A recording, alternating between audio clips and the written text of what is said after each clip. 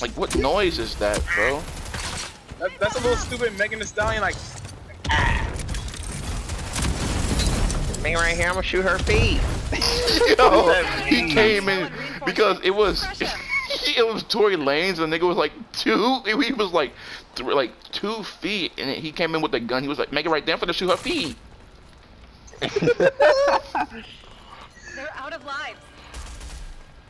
He was like, "Hey, what are you talking about, bro?" responds- Megan Thee, Megan Thee Stallion responds like with a I'm manly voice. Hey, run the ones right now. I'm dead, not playing with you.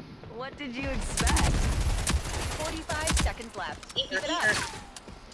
We have control of the Yeah, you Defend suck. That's sad, bro. Enemies have been wiped I was. out. I didn't want to get. I didn't want to be top. Good shit. There are no limits. Dang, I Only trip gay, nigga. Whatever, nigga. It's true.